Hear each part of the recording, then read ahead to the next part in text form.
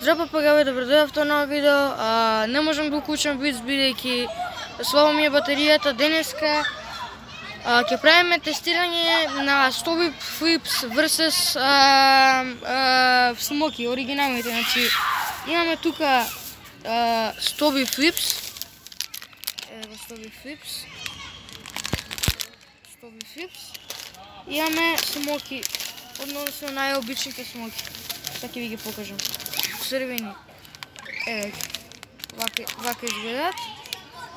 И сега, ја прв пат така, леле, свапнити ја никога бицот, свапти ја никога батеријата, не можеш да си имаш. Сега ќе правиме тестирање кои се подобри. Значи, ставам камерата вака.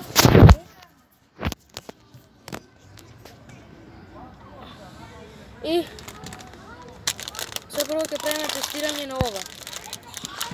Да пробаме кој е поубаво. Ајде да пробаме, да речеме, ајде да пробаме смоки. Но, овие, ако што да не се знаеве папајан, си се да сте ги пробале, се малку полепиви. А вие другиве смоки, вие другиве се што ги пробиме, се малку потврди и се потешко се јадат, ама ама пак пак не се вепат.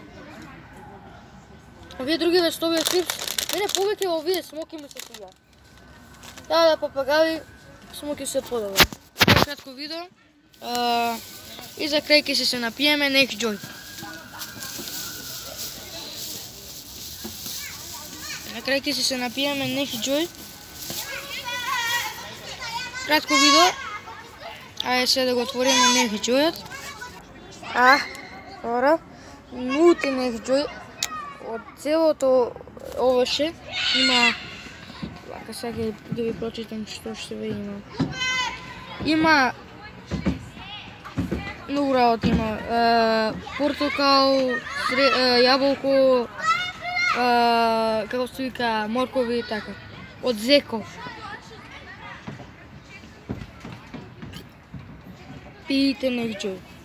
Тоа е тоа е папагај. Нека се видиме со наредно видео. Чао.